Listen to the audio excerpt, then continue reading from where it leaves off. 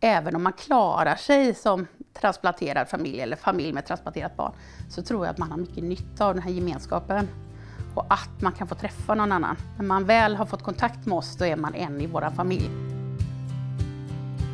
Och då handlar det ju dels om samtalsstöd.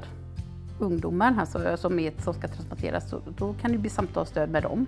Eller så blir det föräldrarna som hjälper att orka. En grupp för föräldrar som har mist sina barn. Vi har också en grupp eh, som har transplanterats då, som får prata liksom, av sig och prata med varandra och träffa andra. Och sen så handlar det ju mycket om att vi har lägerverksamhet. Det är den här, återigen den här gemenskapen som är så viktig.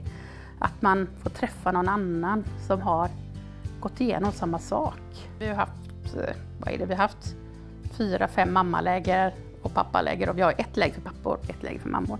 För de här föräldrarna kan ju inte åka ifrån sina barn. Så det har blivit väldigt, väldigt bra. Sen har vi haft syskonläger och det var också väldigt lyckat och jätteroligt. Och sen har vi haft tre ungdomsläger. Och de har ju varit helt fantastiska och det är ju de här ungdomarna som har varit på ungdomsläger, det är ju ett kompisgäng nu.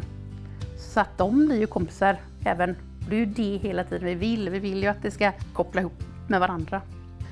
Sedan så har vi ju en del, vi har mycket digital verksamhet och något så enkelt som på varje fredag klockan 11 så har vi en digital fika.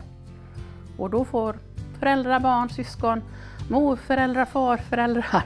Det är bara att hanka på och komma in. Så jag tror att den sociala gemenskapen har man nytta av väldigt, väldigt mycket.